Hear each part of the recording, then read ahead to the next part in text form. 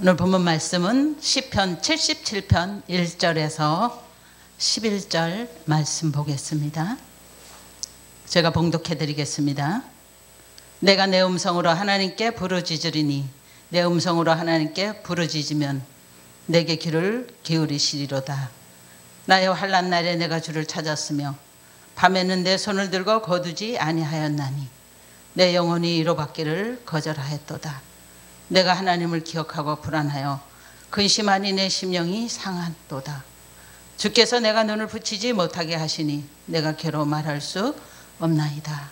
내가 옛날 곧 지나간 세월을 생각하여 싸우며 밤에 부른 노래를 내가 기억하며 내 심령으로 내가 내 마음으로 간구하기를 주께서 영원히 버리실까 다시는 은혜를 베풀지 아니하실까 그의 인자하심은 영원히 끝났는가 그의 약속하심 도 영구히 패하였는가 하나님이 그가 베푸실 은혜를 잊으셨는가 노하심으로 그가 베푸실 긍휼을 그치셨는가 하였나이다 또 내가 말하기를 이는 내가 나의 잘못이라 지존자의 오른 손에 의해 손에 의해 곧 여호와의 일들을 기억하며 주께서 옛적에 행하신 기한 일을 기억하리이다.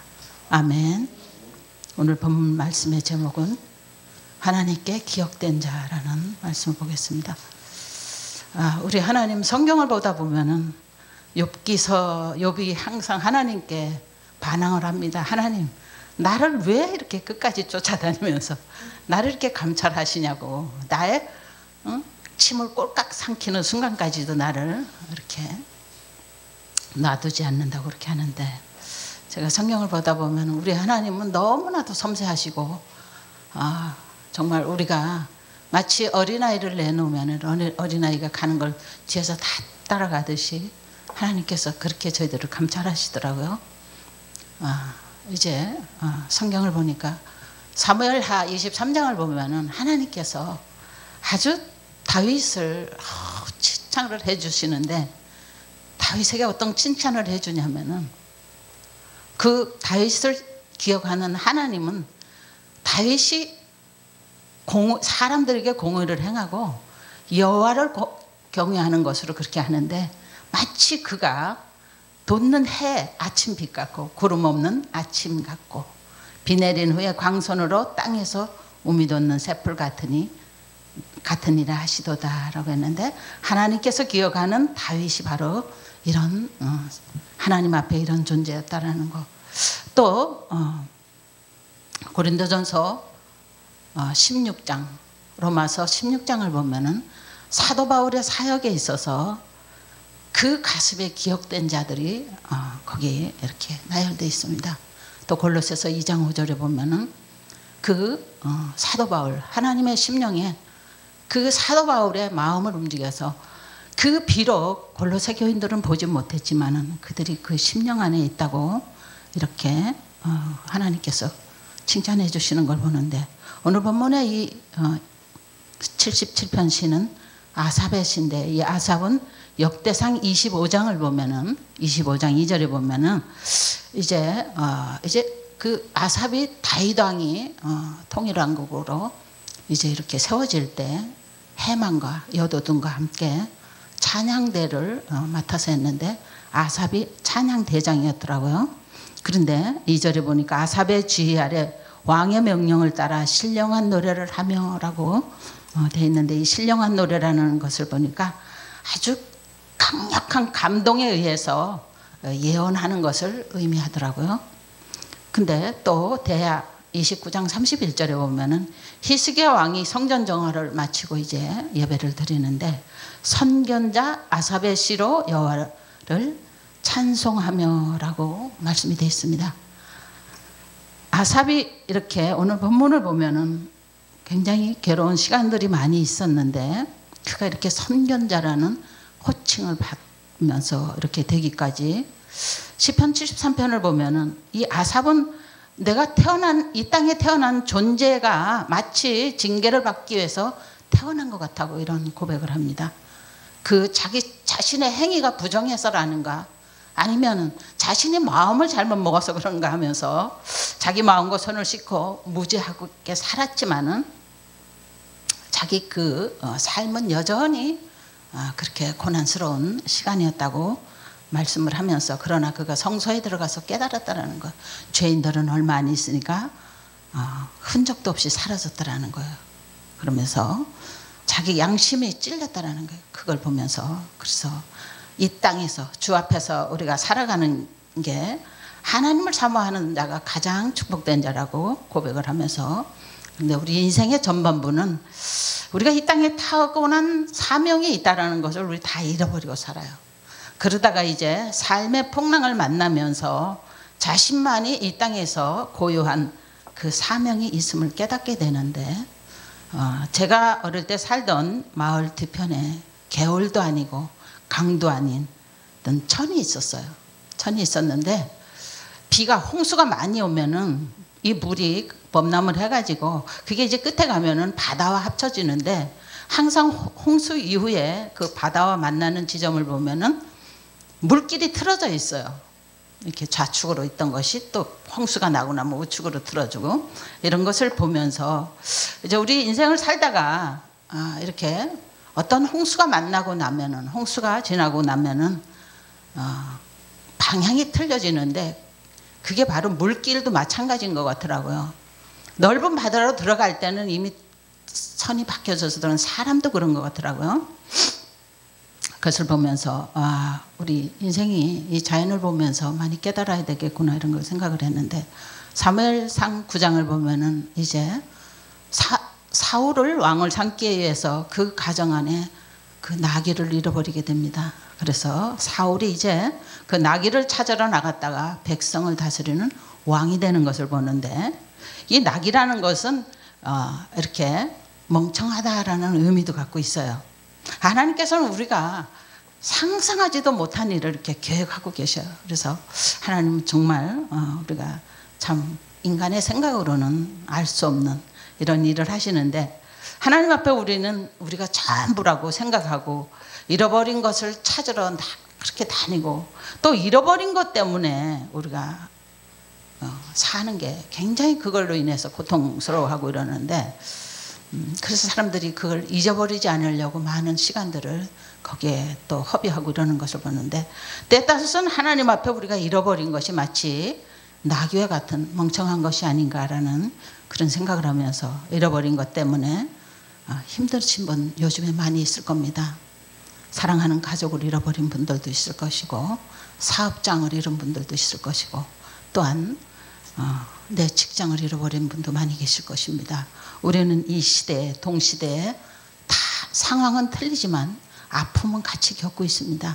근데 이 시대가 오늘 이 본문을 보면서 이제 이 아삽이 4절에서 7절까지 보면은 굉장한 시간이 많이 흘렀 이렇게 오랜 시간이 밤을 만난 것 같습니다. 그런데 이렇게 고난의 시간이 길어질수록 하나님을 의심하게 돼요.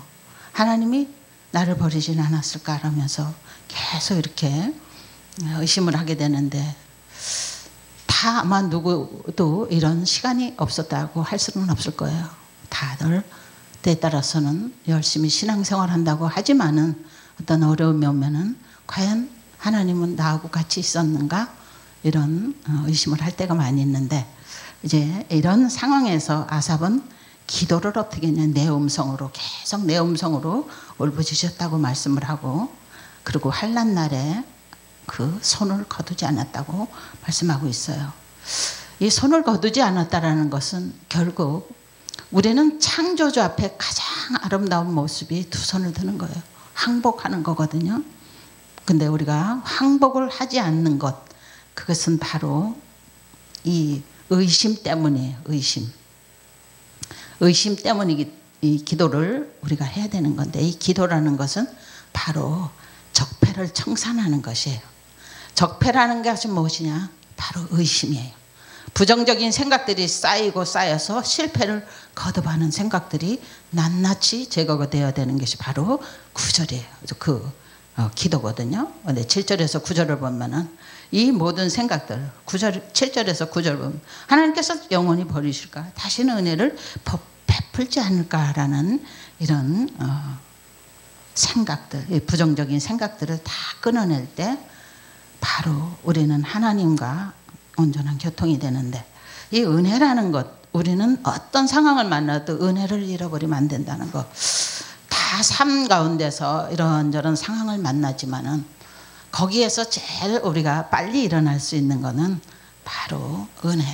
은혜가 뭡니까? 우리는 값없이 예수 그리스도를 통해서 내가 구원받은 존재라는 거. 우린 죄와 허물로 죽었던 존재들이에요.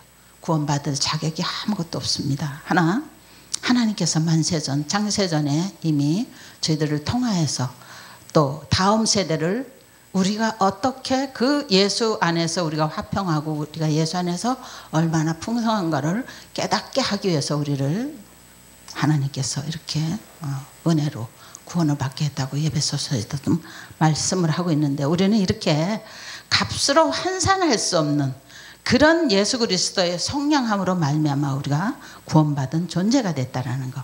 주님의 몸값을 어떻게 우리가 뭘로 할 수 있겠습니까? 저도 어 제가 하던 사업을 갑자기 접게 되면서 아무 어떤 앞으로의 계획도 없이 이렇게 하면서 굉장히 힘들었던 시간이 그때 저는 계속 말씀 앞에가 앉아 있었어요. 말씀 앞에가 앉아 있었는데 성경을 통독하던 목사님이 이런 말씀을 하시더라고요. 여러분 혹시 여기에 돈을 많이 잃은 분이 계십니까? 예수님의 몸값 다 되면은 그 돈 수억, 수, 수천억 그 잃은 거 아무것도 아닙니다. 몸값을 우주를 다 준다 그래도 살 수가 있습니까? 그 소리를 딱 하시는데 저는 그때 아무도 저에 대한 상황을 모를 때예요. 그런데 마치 하나님이 저에다 대고 하시는 것 같았어요. 그래서 그 소리를 딱 듣고 나니까 맞아. 나는 하나님 앞에 너무 싸게 구원을 받았구나. 이런 어, 생각을 하는 그런 시간이었어요. 그렇게 하고 나니까 내가 힘이 생기더라고. 아 맞아. 어떤 상황이 생겨도 아 그래. 하나님은 우리를 이렇게 사랑하는 독생자, 독생자를 내어주시기까지 우리 죄를 속량하기 위해서 내어주셨는데 그 돈 좀 뭐좀 이런 거 날아간 거 그것 때문에 그렇게 어, 애통해 할 이유가 뭔가 있나 이런 어, 그런 시간을 보내고 나니까 오히려 힘이 생기더라고요. 시편 49편 8절에서도 그랬어요. 생명을 속량하는 값이 너무 엄청나서 영원히 마련하지 못할 것임이니라라고 말씀했어요. 그렇습니다. 생명의 값을 무엇으로 속량하게 되겠습니까? 죽은 사람은 못 건지잖아요. 아무리 우리가 볼 때 하찮은 존재 같고 아무리 우리가 볼 때 아무것도 할 수 없는 존재라 할지라도 그 생명을 잃으면은 다시는 어떤 값을 주고도 구할 수 없다라는 거. 그래서 시편 49편 20절에서 사람이 존귀하나 깨닫지 못하는 사람은 멸망하는 짐승 같도다라고 말씀을 하고 로마서 5장 8절에서도 우리가 아직 죄인 되었을 때 그리스도께서 우리를 위하여 죽으심으로 하나님께서 우리에 대한 자기의 사랑을 확정하셨느니라. 아멘. 어떤 상황에도 우리는 그 사랑을 기억해야 된다는 거. 그래서 고린도후서 6장 7절에서도 진리의 말씀과 하나님의 능력으로 의를 좌우의 병기로 가지라고 말씀했습니다. 그럴 때 어떤 상황이 나냐면 10절에서 근심하는 자 같으나 항상 기뻐하고 가난한 자 같으나 많은 사람을 부여하게 하고 아무것도 없는 자 같으나 모든 것을 가진 자로다. 아멘. 우리는 하나님 앞에 이렇게 귀한 존재라는 거. 그래서 시편 139편 그 기자가 이런 말씀을 했어요. 하나님은 내가 앉고 일어섬을 다 아신다는 거예요. 내가 지금 누웠는지 앉았는지 무슨 생각을 하는지 다 알고 계신다는 거예요. 그래서 내가 새벽 날개를 치면 바다 끝에 가서 거기 거주할지라도 하나님이 나를 끄, 손으로 끄집어 올린다는 거예요. 왜 그렇게 하는가 보면은 16절에서 나의 형상이 만들어지기 전에 나의 정한 날이 생명책에 기록돼 기록되어 있다고 말씀됐어요. 이 정한 날이라는 것을 이거를 원문을 보니까 토기장이가 흙으로 무엇을 만들 때 분명한 목적을 가지고 만들었다는 거예요. 그러므로 내가 자고 일어나는 거 어디로 피해도 하나님이 다 찾아낸다는 거예요. 아멘. 주의 생각이 너무 보배롭다고 거기서 찬양을 합니다. 이 찬양한다, 이 찬양의 뜻을 보니까 감사하다 하고 자랑하다라는 거예요. 그래서 하나님께서는 우리를 부르신 목적이 바로 감사하고 찬양하는 건데 오늘 여기 11절에 보면은 어, 곧 여호와의 일들을 기억하면 주께서 행, 옛적에 행하신 기이한 일들을 기억하리다. 여기 1절에서 11절까지 기억이라는 단어가 아, 네 번이나 나오더라고요. 근데 이 기억이라는 단어가 히브리어로 자라큰데 이것이 바로 출애굽기 13장 12절에서 너는 태에서 처음 난 모든 것과 내게 있는 가축의 태에서 처음 난 것을 다 구별하여 여호와께 돌리라 수컷은 여호와의 것이니라 그랬어요. 이 수컷이라는 단어하고 기억하다라는 단어가 똑같은 단어더라고요. 그러니까 우리는 여호와의 것이라는 거예요. 아멘. 예수 그리스도의 성령값으로 우리는 하나님의 것이라는 거. 그래서 43장 이사에서 43장 1절에서도 너는 내 것이라 그랬잖아요. 너는 내 것이라 그랬고 2절을 내려가니까 1절에는 너는 지명하여 부른 나의 것이라고 말씀을 해놓고 2절에 가면 바로 물, 물 가운데로 지날지라도 강이 너를 침몰하지 못할 것이며 불 가운데로 지날지라도 너를 침몰, 너를 불사르지 못하게 한다고 말씀하셨는데 왜 하나님께서는 이렇게 우리를 불러놓으시고 어? 사랑하는 아들들을 물 가운데 어? 지나가게 하시고 불 가운데로 지나가게 하실까요? 그것은 우리가 그것을 어, 베드로전서가 어, 돼 있더라고요. 우리 베드로전서 4장 1절에 우리의 옛 죄악된 생각들을 끊기 위해서 하나님께서는 이렇게 고난을 주신다고 말씀하셨는데 그것이 바로 21절에 보면은 이 백성은 내가 나를 위하여 지었나니 나를 찬송하게 하려 함이라 라고 말씀했습니다. 우리가 찬송하게 하는 것 바로 내가 약해서 아무것도 할 수 없을 때 하나님의 강함됨을 하나님이 드러내게 하시려고 우리를 그런 가운데 또 지나가게 하신다는 것을 어, 또 이렇게 보면서 시편 50편 15절에서도 환란 날에 나를 부르라 내가 너를 건지리니 네가 나를 영화롭게 하리로다라고 말씀했습니다. 환란을 통하여서 내가 하나님은 나를 영화롭게 하는 게 아니라 네가 나를 영화롭게 하리라 그랬습니다. 아멘. 아멘. 너무나도 성경을 볼 때마다 아주 그냥 너무 감사할 때가 있어요. 찬양이라는 게 뭐냐? 문제를 역전시킨 하나님을 자랑하고 감사하고 간증하는 것이 찬양이라는 겁니다. 아멘. 하나님께서는 이렇게 우리가 나를 약할 때 내가 최고로 낮아져 있을 때 하나님은 이렇게 하나님의 강함됨을 보여주신다는 거. 하나님께서는 이 날씨까지도 다 요셉을 보면은 요셉을 총리를 만들게 하기 위해서 7년 풍년이 들게도 하고 7년 기근이 들게도 하시는 걸 보거든요. 그 하나님의 계획된 자들, 하나님 앞에 기억된 자들, 하나님의 정한 날, 생명책에 기록된 자들은 그 목적을 이루게 하기 위해서 하나님은 이렇게 반드시 기억하고 계시다가 우리가 이런 하나님을 통해서 찬송하게 하신다는 겁니다. 이제 요셉이 그 하나님의 목적을 이루게 하기 위해서 정말 그 아무 잘못도 없이 감옥에도 들어가잖아요. 그러나 그 감옥에 들어가는 그것을 통하여서 거기서 사람을 만나게 되는 것을 봅니다. 그것이 바로 이제 어, 최고의 자리로 나가는 과정에서의 마지막 관문이라고 제가 보게 되더라고요. 그것을. 네. 마치 물줄기가 아, 이제 바다로 합해지기 전에 큰 홍수를 만나면서 물줄기가 좌측으로 틀어질 때도 있고 우측으로 틀어질 때도 있고 그런데 요즘에 이 어, 코로나를 통해서 많은 어려움에 처하신 분들이 계실 줄 믿습니다. 그러나 하나님께서는 반드시 어떤가 하나라도 하나님의 그 손에 의하여서 주기도 하고 감추시기도 하시거든요.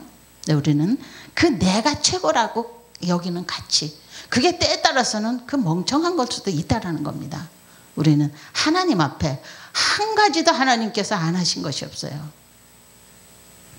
그래서 우리는 오늘 여기 본문을 보면서 우리가 하나님 앞에 내 음성으로 내 음성이라는 것은 내 자신이 내 존재가 내가 누구인가를 분명하게 내가 깨닫고서는 하나님 앞에 손을 든다는 의미.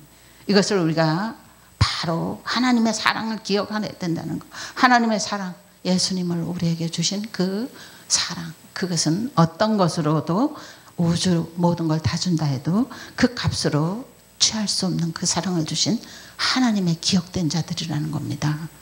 이제 이 시대를 살아가는 우리 모두는 다 힘든 똑같은 세계적으로 힘든 어, 이런 과정을 지나고 있습니다. 그러나 하나님께서는 이 큰 홍수를 만나고 나면은 물줄기가 다른 곳으로 틀어져 있듯이 이제 그 과정을 통하여서 또 다른 우리가 내가 미처 알지 못했던 그런 길로 인도해 주시는 그런 하나님이신 줄 믿습니다. 아멘. 우리 오늘도 이 말씀을 어, 보면서 하나님의 사랑이 영원히 끝났는가, 영원히 패했는가 이렇게 그 아삽이 하나님 앞에 이렇게 의심을 했어요. 그래서 78장을 가면은 계속 72절까지가 나오는 게 이 이스라엘 백성들이 출애굽을 해서 계속 하나님을 의심했다는 거. 아 광야에서 식사 볼수 있는가? 계속 그랬다는 거예요. 고기 백성들을 위해서 고기를 먹을 수 있었는가? 우리가 제일 먼저 기도가 그런 거를 없애야 된다는 거예요. 그거 바로 적폐를 적폐를 청산하는 게 그런 거거든요. 그래 우리가 이런 게 없어지는 거는 하나님의 은혜가 임해야 된다는 겁니다. 아멘. 그것은 바로 내가 손들 때, 손을 들 때 하나님께서 우리가 그걸 생각나게 해주십니다. 나의 모든 거, 부르신 거. 어떤 상황이라도 하나님은 나를, 예수님을 성냥 제물로 주고 하나님 것이 됐다라는 거 우리가 생각하면 하나님은 나를 통해서 많은 사람들 다음 세대에게 풍요하게 하는 그런 도구로 부르셨다고 믿습니다. 우리 그런 하나님을 기억하면서 하나님 앞에 우리가 기억된 자라는 거 생각하는 복된 저와 여러분 다 되시기를 주님의 이름으로 축원합니다.